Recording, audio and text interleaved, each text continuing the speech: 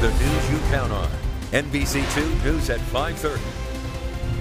Naples is getting to work to protect neighborhoods from flooding. Now, it doesn't take a hurricane to put streets underwater. We've seen it with heavy afternoon storms, especially in downtown Naples. We have, and NBC2's Ryan Arbogast is giving us a look at how this major project will help protect the city of Naples. From this massive barge sitting off the coast of Naples to this blocks long construction site along 3rd Avenue North to the beach. Today's first dig was 10 plus years in the making for our local leaders. As you're seeing more and more storms, you're seeing more intense rainfall in a shorter period of time. And without an adequate stormwater system in areas, you're not able to control flood.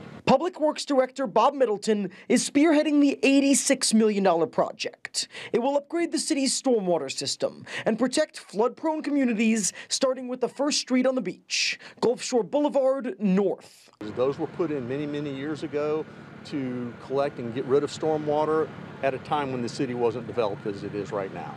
So now we just need a new and improved system that will get rid of these beach outfalls and provide a more reliable pumping system. The city says high tides like these in the Gulf of Mexico are why their stormwater pipes are inefficient. When they're underwater, they fill up, and then Gulf Shore Boulevard floods. This is a gravity-based drainage system along Gulf Shore Boulevard, and we're transitioning to a mechanized one that will push against uh, surge and also push against uh, high tides uh, to make sure that the streets are getting cleared of water. We've already seen work begin over the past two years. Crews drilled 1,500 feet to shore from this barge on the Gulf, and pipes were laid from above ground once the holes were built. The city manager says now that mechanized system will go into place. City crews will remove eight outfall pipes along the beach and build two pump stations at 3rd and 8th. Construction is expected to be completed at the end of 2026. And if all bodes well, other flood prone areas of the city could see this work work done too. One of the lowest lying areas uh, is along the Bay Aqualane shores. Uh, River Park East is another one uh, in the north end in the Park Shore area.